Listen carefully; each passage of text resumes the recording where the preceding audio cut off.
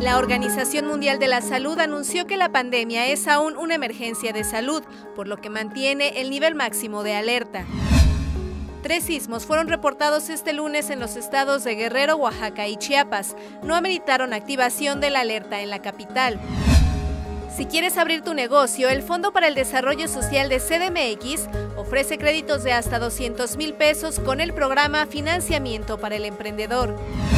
Mexicanos que residan en el extranjero ya podrán utilizar su pasaporte o matrícula consular para identificarse en bancos que operen en México y abrir una cuenta. La preinscripción a preescolar, primero de primaria y de secundaria será del primero al 15 de febrero, a excepción del 6 por suspensión de labores. Consulta más noticias en www.unotv.com.